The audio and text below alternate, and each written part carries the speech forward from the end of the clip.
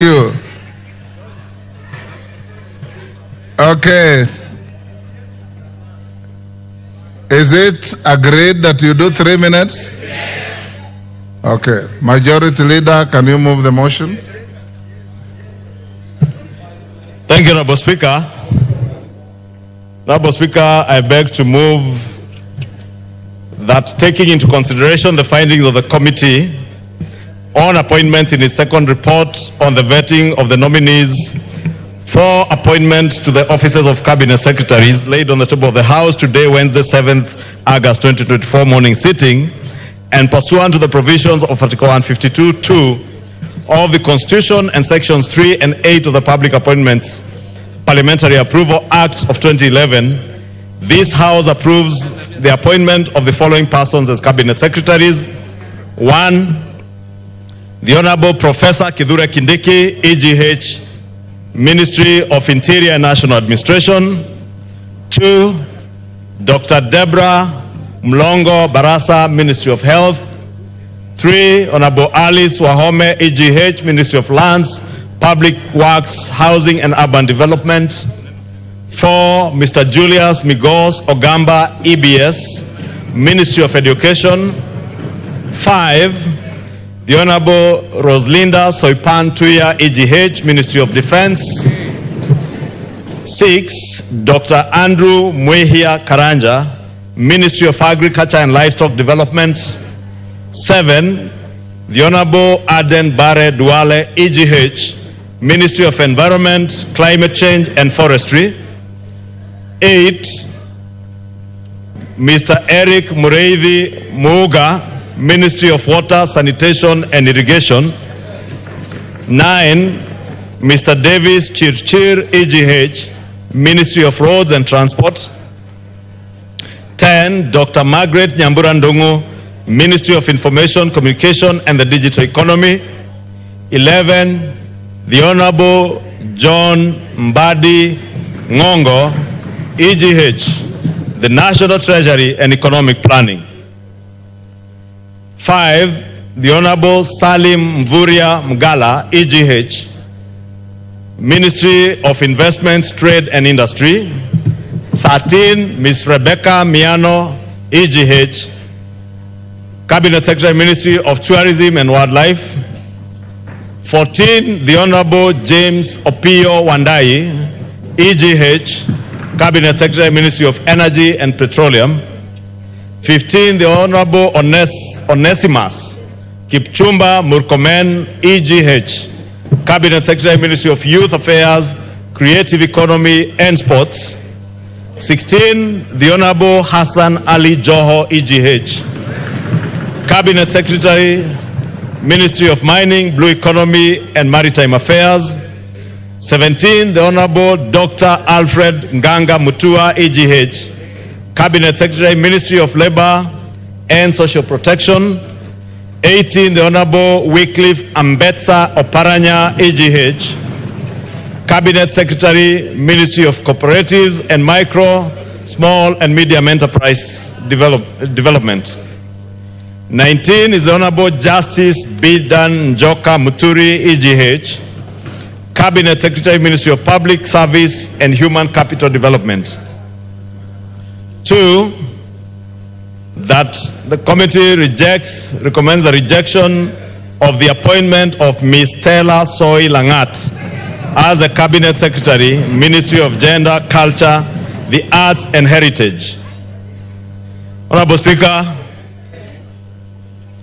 allow me, Honorable Speaker, having read that, to take this opportunity, Honorable Speaker, to first thank you as the chair of the Appointments Committee of this House and all the 20 members, with the exception of the Honorable Opiyo Wandayi, who, for obvious reasons, could not sit in a committee that was vetting names among that uh, had among us those names to be vetted his own name. And therefore, as members will note from the report, the very bulky report that I tabled this morning, the Honorable Opiyo Wandayi only appeared before the committee as a nominee to be uh, considered for appointment as Cabinet Secretary for Energy and Petroleum. And the 20 members, Honorable Speaker, including yourself, who sat through from Thursday 8 a.m. Honorable Speaker. Members know that you are checking in at County Hall at 7 in the morning, all the way at times to as late as 10:30 p.m. Honorable Speaker, allow me to take this opportunity to profoundly thank you and all the members of this committee for the commitment and diligence and professionalism that all the members of the committee showed in the consideration of all these nominees. Honorable Speaker, the report that I tabled this morning contains all the proceedings of the committee on appointments during the approval hearings of the 20 persons who had been uh, nominated for appointment as cabinet secretaries of the state and ministerial portfolios in the cabinet of the government of Kenya as forwarded by His Excellency the President and communicated by yourself, Honorable Speaker, on Tuesday 23rd and Wednesday 24th of July. And Honorable Speaker, the names are as read out. And Honorable Speaker, the report. Honorable Speaker, if you can protect me from the loud consultations. The report, Honorable Speaker, was saying details in great detail what we were able to engage each of the nominees on. The committee's report also has a retinue of all that was said in the committee based on what the nominees filled up in their written, handwritten questionnaire from their educational background, their professional background, places they have worked in, their work experience, and Honorable Speaker, including their net worth. And I know, Honorable Speaker, the question of net worth is what became very popular with Kenyans and especially our friends and colleagues in the fourth estate. Order, honorable members, order. This Kamukunji here, Honorable Speaker. Order. Order, David Speaker and your team. Sioi, take your seats. Take your seats, honorable members. Honorable members, if there is a motion that you require to pay attention to, order the member lecturing uh, others in the, the walkway. Members, one of the most important constitutional responsibilities you carry that was given to this house is that the president cannot sit in state house and nominate persons to office of minister or cabinet secretary without your approval. This is order, Kiborek. This is one of your most important responsibilities to discharge in this country, apart from dealing with appropriations and budget. I would expect, and I expect nothing less, order decay. I expect nothing less, and Osoro, you are the chief whip. You should be the last to cause disorder. I want you to hear each other in silence. I want us to hear your views on the people who are going to assist the president to run this country. I want the country to hear you on what you are handing over to the president to work with. And we cannot do that by engaging in many kamukunjis all over the, the, the floor of the House. Those members, the, the chair cannot curtail you from consulting. I have allowed you to use the speaker's recess room to go and consult if you wish. But let's hear the moving of this motion, the debating of this motion with order, a reasonable degree of silence in the House. The country is watching you. And if the majority leader is speaking and nobody's even hearing him, then when you stand to contribute, what are you going to do? Don't degenerate to a level where you know we used to have in this house. A motion as important as this is moved, and a member stands up to attack his local chief. Instead of contributing to the motion, majority leader proceed. Thank you, Honorable Speaker. Honorable Speaker was at the point I was saying that the committee considered the curriculum vitae of all these nominees that uh, stipulated where they each went to school. Honorable Speaker, on a light note, many people out there, including members of parliament, believed that there are some of the nominees who had not uh, attained the requisite academic qualifications. And I want to confirm to this House that indeed all the nominees from their curriculum vitae and engagement with the committee indicated that they had the requisite qualifications. Uh, and also noting, Honorable Speaker, that uh, our laws do not stipulate any particular quali- academic qualifications. But even those that Kenyans had a very uh, interesting engagement on, like the Honorable Ali Hassan Joho, he was able to, in a very good manner, exhibit to the country how he was inspired by Professor Ali Mazrui to pursue education having not performed well at KCSE or at high school level.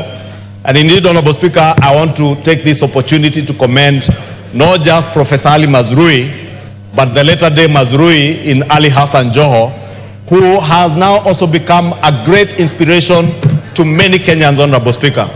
It is not every other Kenyan who sits examinations at KCSE level or at all levels and qualifies to join an institution of higher learning.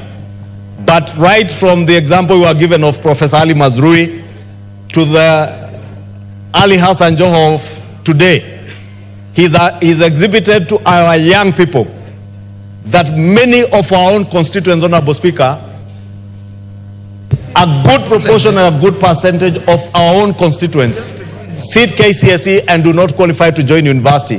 That that does not mark the end of your life. That not qualifying to join university at Form 4 should not mark an end to your pursuit to better yourself and for academic excellence. The Honorable Ali Hassan Joho exhibited to the committee that he is now pursuing a master's degree at Harvard University in the Kennedy School of Administration and is commendable, Honorable Speaker. And I want to commend the Honorable Ali Hassan Joho for not just being nominated, but also for exhibiting to Kenyans that he can also serve as, as, an, as an inspiration to younger Kenyans who should now know that you can uh, get on a path for academic excellence, even having not performed so well at KCPE. Honorable Speaker, besides considering their CVs, the committee also invited the public to submit memoranda by way of written statements on oath or affidavits as is stipulated in our constitution and our laws, Honorable Speaker, in the Public Appointments Act on the suitability of each of the nominees. Honorable Speaker, to this end, the committee received a total of 837 memoranda. And I must thank the many Kenyans who submitted this huge number of memoranda, and it tells you that indeed public participation was not superfluous, was not for the sake of it, that Kenyans in their numbers did submit written memoranda. However, Honorable Speaker, 123 of these were hand delivered and 714 were submitted by email. Honorable Speaker, Section 69 of the Public uh, Appointments Parliamentary Approval Act provides that any person may, prior to the approval hearing, by written statement on oath, provide the clerk with evidence. Honorable Speaker, it's important for members to note that and members of the public also, that it must be written statement on oath or an affidavit and provide evidence contesting the suitability of a candidate to hold the office to which the candidate has been nominated. Honorable Speaker, out of the memoranda su- submitted, 181 complied with section 6 subsection 9 of the act while 656 were not in the form of affi- affidavits hence did not meet the requisite threshold as per the law. Moreover honorable speaker out of the 656 some were actually in support of the nominees and therefore inadmissible because the law expects this section 6 sub article uh, subsection 9